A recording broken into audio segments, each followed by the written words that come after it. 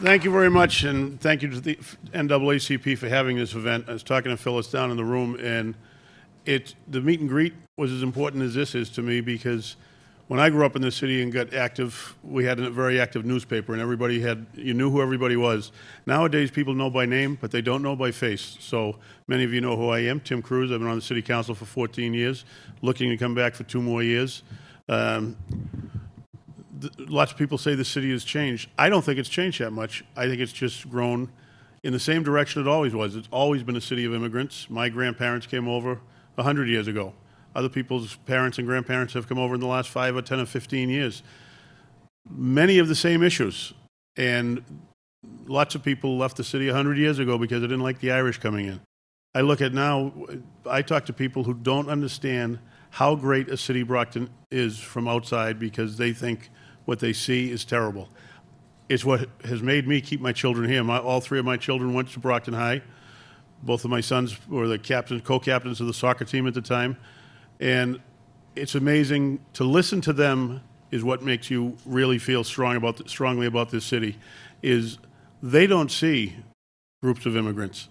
They don't see faces of color. They just see people they've known since they were born.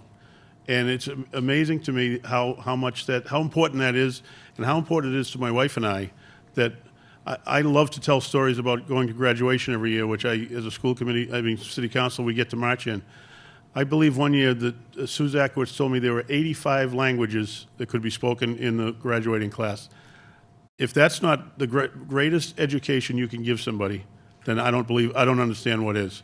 Those are the things that make the city great. I want to work with everybody to keep that city great. And I hope you'll vote for me again in uh, in September and then November. And in fact, I have I've somewhat been spoiled. I've not been I've not had opposition a lot of years. Somebody said, "Oh, it's too bad you have opposition." I say, "No, just the opposite.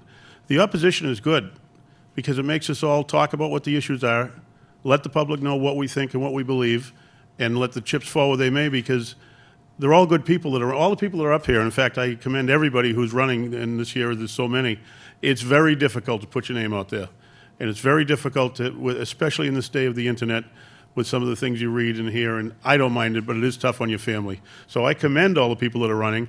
I'm glad to actually to have. Now, don't get me wrong. I'd love to be out in the golf course right now, but I, I'm glad to have people running because it is what keeps us looking at the issues and it's what keeps us making sure that I understand and everybody understands what the problems are that face everybody.